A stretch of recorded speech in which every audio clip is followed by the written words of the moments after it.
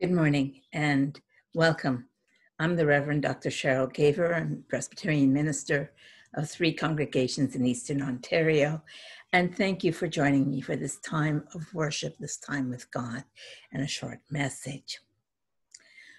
So prepare yourself to encounter God in our worship. In the name of the Father, the Son, and the Holy Spirit. Amen. The psalmist writes, Bless the Lord, O my soul, all my being, bless his holy name. Bless the Lord, O my soul, and do not forget all his bounties. Come, let us enter into the presence of the Lord. Come, let us praise and bless his holy name. Let us pray.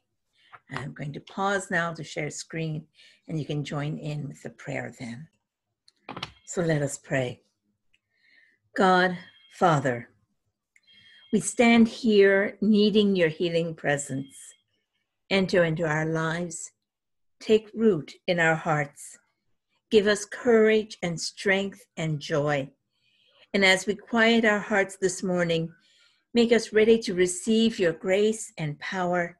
Empower us to proclaim your good news everywhere.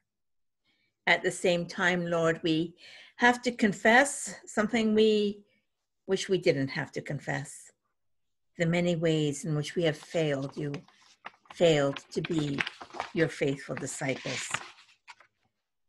We have turned our backs on those in need too often. We have sought after power and riches, believing them to be the way to true happiness. We've done so many things that you know are wrong and we didn't even protest them. You know us far too well. Forgive us.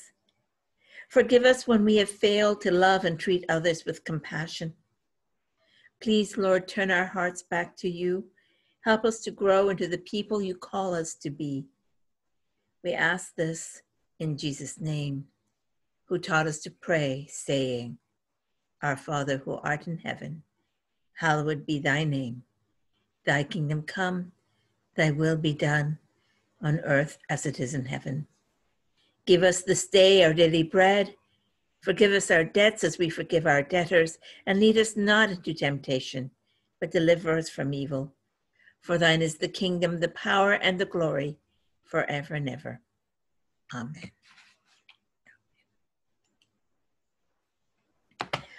Hear now an assurance of pardon this is the good news. God is faithful and just. He cherishes us as we are. He seeks restoration and healing for all the broken places in our lives, and He forgives us unconditionally. Accept the good news, believe the good news, accept God's forgiveness. Amen. I had two hymns picked to go with our service today. And the sound quality isn't right. I'm going to have to uh, find a way to to um, to fix that, and that'll be experimenting. So no hymns. I will put them in on the Facebook. I'll add them in. Uh, if if you know, the first one would have been, "This is our Father's world." I'm going to share screen again for our scripture lessons. Our first is a responsive psalm, Psalm 86, verses 11 to 17. So, what that means is I read one verse and you read one verse. So, I will start and I'll be very clear. This is me reading, and then I'll read the responsive ones too, but I'll be softer and you can just join in. Teach me your way, O Lord, that I may walk in your truth. Give me an undivided heart to revere your name. I give thanks to you, O Lord my God, with my whole heart, and I will glorify your name forever. For great is your steadfast love toward me. You have delivered my soul from the depths of Sheol. O God, the insolent rise up against me. A band of ruffians seeks my life, and they do not set you before them. But you, O Lord, are a God merciful and gracious, slow to anger and abounding in steadfast love and faithfulness. Turn to me and be gracious to me. Give your strength to your servant. Save the child of your servant girl. Show me a sign of your favor, so that those who hate me may see it and be put to shame. Because you, O Lord, have helped me and comforted me. Glory be to the Father, the Son, and the Holy Spirit, as it was in the beginning, is now, and evermore shall be, world without end. Amen.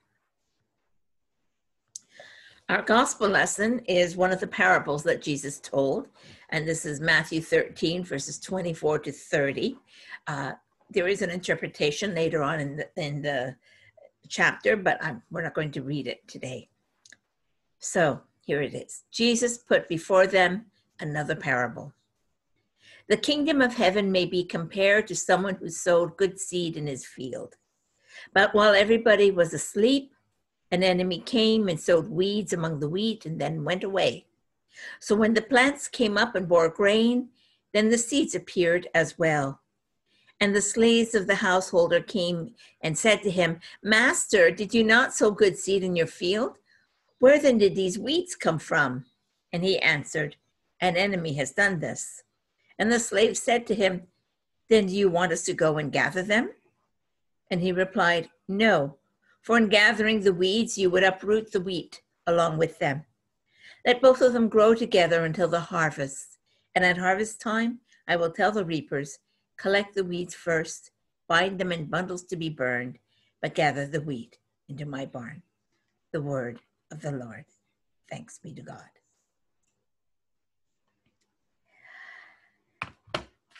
Let's pray. Dear Lord, we ask that you open your word to us. Open our ears that we might understand what we need to hear. Open our mouths that all we say may be worthy of you. In Jesus' name we pray. Amen. The sermon title for today's sermon is What Happened to Judgment? Oh, if you're like me, your summer's been pretty well wrapped up with the pandemic, COVID 19. And then we've been hearing about Black Lives Matter, and some of you have been responding with, yes, but all lives matter. And of course, we remember Indigenous lives matter too. But for many of us, it really just boils down to something simple. If you're guilty of something, you should be punished. If you're not guilty, if you're innocent, you have nothing to be afraid of. If only life were that simple and straightforward. Our gospel passage today is a parable about the kingdom of God. But within that parable is another question, is a story, is an answer to a question, one of the most important questions that we can ask. Why does evil exist in the world? Why do bad things happen? Are some people just plain bad? And if God exists and God is good, why doesn't He do something about it? Think about those questions, and then we'll take a closer look at Jesus' parable. Jesus starts off with an analogy that most of us can understand a farmer plants wheat, seeds. Someone else comes in at night and plants weeds. Now, I'm not a gardener, as anyone who's seen my garden can attest to that fact. But you know as well as I do that if we plant some seeds and just leave it at that, pretty soon we're going to have the plants that we planted and we're going to have a crop of weeds. If you want to be sure, Check out my children's story. You'll see the pictures. If you want your garden to look nice, you have to work at it. water the plants, fertilize the ground, and pull up the plants you don't want, the weeds. If we're talking about good and evil in the world, it would be nice if it were that simple. You have good people, you have bad people. Help the good people, get rid of the bad people. That's absolutely why we have prisons. It's not to rehabilitate anyone, it's to just get rid of the bad people, put them away so they don't affect us. get rid of them so they don't influence us. And secretly, many of us wish we could just kill them, get rid of them, help God along by getting rid of the, the bad weeds. There's just a problem, one or two problems along the way. The main one is who decides who's good and who's bad? Ouch. There's another problem. If good people are those who keep the law and bad people are those who break the law, where do we find ourselves? I don't know about you, but I'm sure I've been guilty of um, speeding along the highway, going over the speed limit. That's breaking the law. And I'm also sure that I have borrowed a pen from someone and forgotten to return it when I left. That's stealing. Does that make me a bad person? Should I be one of those that's locked up and the key thrown away? It's not so easy to tell who's good and who's bad. As religious people, we sometimes work around that by saying, well, there's a difference between the state's laws, and remember, speeding, setting speeding limits is the state's responsibility or the province's responsibility, and God's laws. Okay? So then we'll say those who keep God's laws are good and those who break God's laws are bad. Maybe. I'm not sure it's quite that simple. In Jesus's day, they sort of defined it in terms of purity. And you had three types of people. I may be simplifying a bit. But you had those who were devoted to God who kept all of God's laws or tried to keep all of God's laws, and who went sometimes above and beyond just to show their devotion. So the Pharisees, the Sadducees, the temple priests, these were the people who were somehow special, good people, and they had the right to go into a temple, the temple, and worship. And then you had the people who actively rejected God's laws maybe they they just refused to keep them. Maybe they were foreigners followed other religions. Maybe they were um, people who were sick and so they couldn't keep all of them.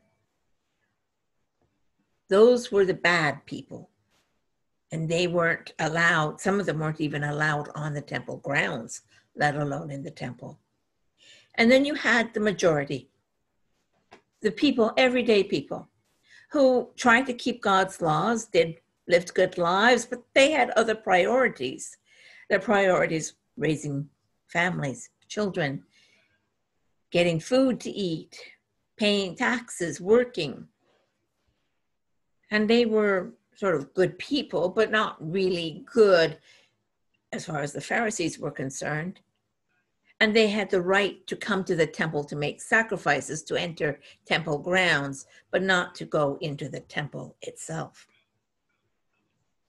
And so you have this okay, the bad people you can kick out, the good people you can let in, and there's that vast majority that somehow fall in the middle. What do you do with them? Good question. But at this point, let's go back to the parable. What is Jesus saying there? Because he doesn't talk about that third group. He says you've got the wheat and you've got the weeds. He doesn't say there's something in between. He's, and at this point, the parable go, differs from what you do with your own garden. Your own garden, you would take out the weeds. But Jesus says, no, this place, you don't take out the weeds. Let them grow. Why? Because you might pull out some wheat by accident. Who knows who's good and who's bad? We don't. God does. So consider the following someone fills up gas in a gas station and then takes off. They don't pay. They're a thief. Are they a good person or a bad person? You might wonder, it might seem very simple. What if um, they were teens and they had borrowed the parents' car and gone for a drive somewhere and doing some crazy things? And they wanted to fill up the car when they and take it back home so their parents wouldn't know that they'd borrowed it. Are they good or bad? It's not so easy these are teenagers. They may not be, hmm. Or maybe you think, yeah, they should get the book thrown at them. What if it's a man and he's rushing his wife to the hospital and realize his car is on empty? So he fills up because he needs to get her to the hospital. She goes moaning or something happens. He just takes off. He's not thinking, he's thinking about her. Is that the same category? Is he good or is he bad? A lot of times we don't know the person. We don't know if they're a good person or a bad person, if they've just made a mistake or if that's the way they normally do things. We don't know the context of of where you know what did that situation what was the situation that led to the crime that's why we have trials we're trying to get that story. We're trying to learn what kind of person this is, what motivated them to do something. We're trying to get that information that often we don't get. We're not God. So we don't know who's really bad. And we think, okay, do we know who's really good? If someone keeps God's laws, does that make them a good person? What if they're keeping God's laws because they're afraid of the consequences? Or they're keeping God's laws because they love God and want to please Him? Is that the same kind of goodness? Are they sort of equal? We're limited by what we don't know. And this parable, where Jesus says, has the farmer saying, don't pull up the weeds. You might pick up some wheat by accident, is in a sense saying, don't judge. For us to judge whether someone is good or bad based on whether they keep or break God's laws is dangerous. We aren't God. We don't have all the, the wisdom or the knowledge that's needed to decide whether someone is good or bad we can decide whether they need to be punished or not, but we can't decide whether they're a good or a bad person. But there's another there's another possibility. Something that's really not in the parable, but we know it in our lives. And that's maybe we'll think something is wheat, is a weed when it's not. Maybe it's just a deformed wheat. There's that possibility, a transformation. Years ago, I was involved in Jewish Christian dialogue, and we spent a year getting to know each other and learning about each other's religions. And then, in, towards the end, we started talking about the Holocaust. And I remember this one woman, and she was very sorry that Hitler had committed suicide. And I'm thinking, a Jew who was sorry Hitler committed suicide? Oh, maybe it's because she wanted him to be arrested and tried and then punished, you know, get something that's appropriate, somehow try to beat into his head that what he did was wrong. No. What she said was she was sorry he committed suicide because he cheated himself of the possibility of repentance, the possibility of recognizing he had done wrong and wanted to make up for it. Wow. Wow. Leave judgment in God's hands. We don't know what's possible. We don't know why someone does good things or bad things, and we don't know if someone who's bad can ever be transformed can ever turn their life around to doing something good. Leave it in God's hands. Remember, if we're defining who's good and who's bad by people who keep God's laws or don't keep God's laws, then there's only one answer we're bad people. All of us. That's part of the gospel. That we have all sinned, have all broken God's laws, have all fallen astray. None of us is good. None of us is worthy of heaven on our own. But then, where's the good news?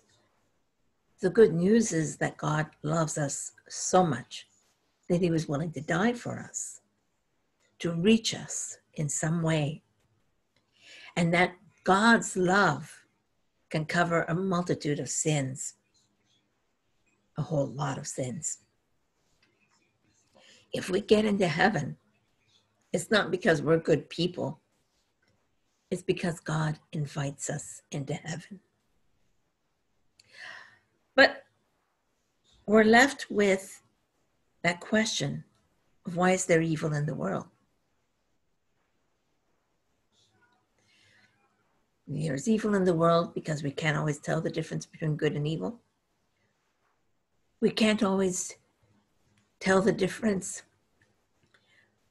We don't always know what can reach someone and transform them from one path to the next. Someone who's good becoming evil or bitter, someone who's hurt and bad becoming good. But there is the promise in the parable. One day there will be a harvest. One day there will be a separation. These are the wheat, these are the weeds. The weeds be thrown away, burned. The wheat will be taken into the barn. We will be invited into the kingdom of heaven.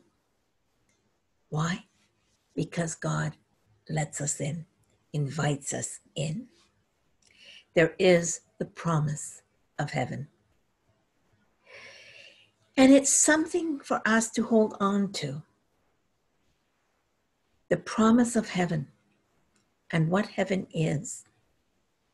It's something that's hard to describe, and sometimes it's hard for us to even imagine it. We see all the problems in the world and they just sort of overwhelm us.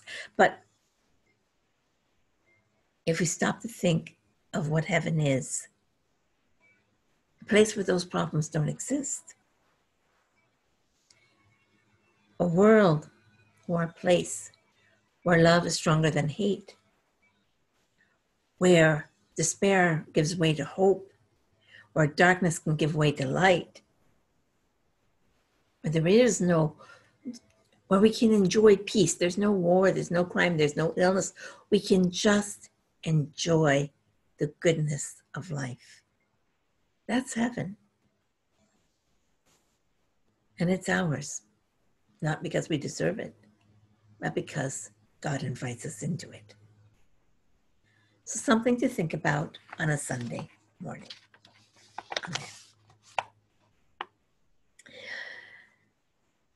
This would be a place for another hymn, and I had one picked up All Good Gifts and again, I'll put the link in the uh, Facebook page. Um, I might also put it into the description on YouTube. But um, the sound went, went kablooey on me. All the churches are suffering at this time because of church building closures. Um, people are are not coming to church or even sometimes even virtually and um, so it's a good time to remind you to, to support your own congregation with your offerings. And so let's pray for them. Oh Lord, we bring our gifts to you. Here is the labor of our hands. Here is the love of our hearts. Accept them and us. Use them and us in the building of your kingdom on earth as in heaven. Through Jesus our Lord, we pray. Amen. Homework time. Okay, as I do every week, uh, I want you to, uh, thank God for five things you know, family, friends, health, whatever it is. Then ask God to look after or protect or, or deliver in some way five people or groups of people or even the country. Uh, I've been praying for the soul of America, and I invite you to pray for that too. And if we're Canadians, us we can pray for the soul of Canada too, but I somehow don't feel the same threat as I do for the States.